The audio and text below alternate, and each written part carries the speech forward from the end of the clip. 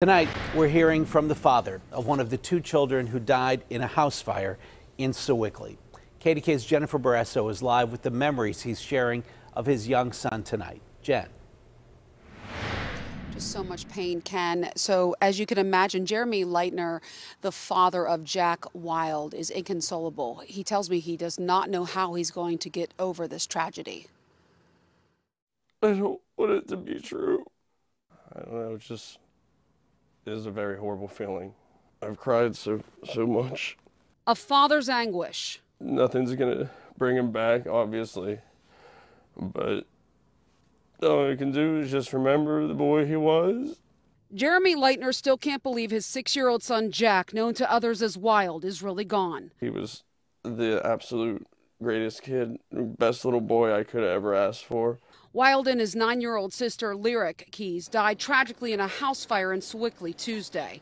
Leitner hadn't seen his son since he was two. I love my son. Like, I love my son more than words can express. He clings to these treasures a framed birth certificate. Like, I was there when he took his, took his first breaths. Sweet memories. He's like my twin, you know?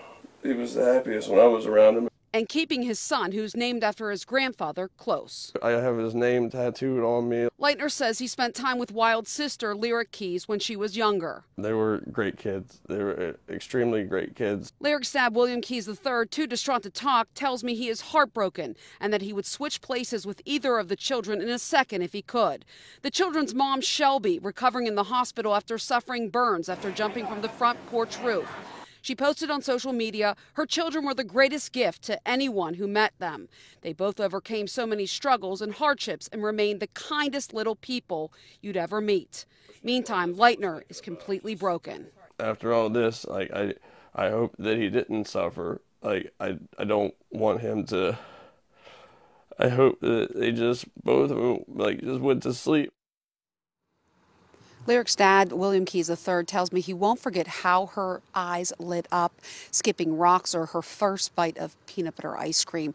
Now, sources tell me there were no working smoke detectors and they are looking at a questionable extension cord and a space heater as a possible source. Now, the nonprofit group here in Sewickley, Union Aid Society, is collecting financial donations for the kid's mom, Shelby. You can go to our website, kdka.com, for a link on how you can donate to help. Reporting live, Jennifer Borrasso, KDKA News.